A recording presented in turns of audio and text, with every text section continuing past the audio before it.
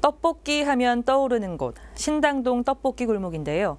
하지만 인도가 거의 없어 보행 환경이 좋지 않은 곳이었습니다.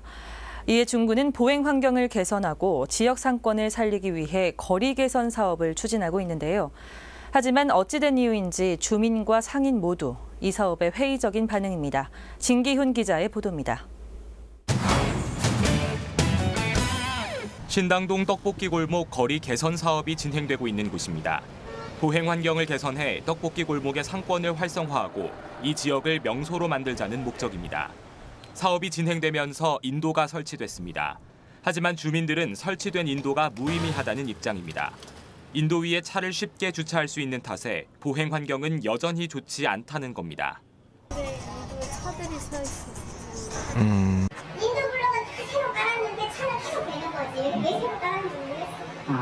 원래 일요일 되면은 저쪽에 나가려고 생각 안 해요, 아예.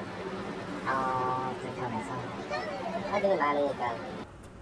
보행 환경 개선을 위해 마련된 인도는 이렇게 턱이 낮아서 차들이 쉽게 주차할 수 있는 모습입니다. 때문에 사람들은 인도가 아닌 차도로 걸어 다닐 수밖에 없는 상황입니다. 골목 상인들도 사업 목적에 공감하기 어렵다는 입장입니다. 손님 대부분이 차를 가지고 오다 보니 보행 친화적인 골목 조성이 상권 활성화에는 도움이 되지 않는다는 겁니다. 근데 지금 사람들이 얼마나 많이 걸어다녀요?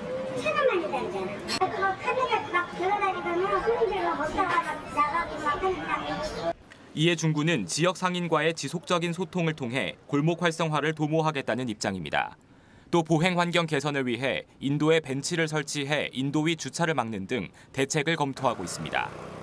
저희가 향후에도 주민분들이나 그곳의 상인분들이랑도 계속 소통을 해가지고 거리를 활성화시켜 나가는 방안으로 가려고 해요. 보행 환경 개선과 지역 상권 활성화 이 두 마리 토끼를 잡기 위해 중구가 추진한 이번 사업이 자칫 주민과 상인 모두에게 피해로 돌아가지는 않을지 우려를 낳고 있습니다. 딜라이브 서울 경기 케이블 TV 진기훈입니다.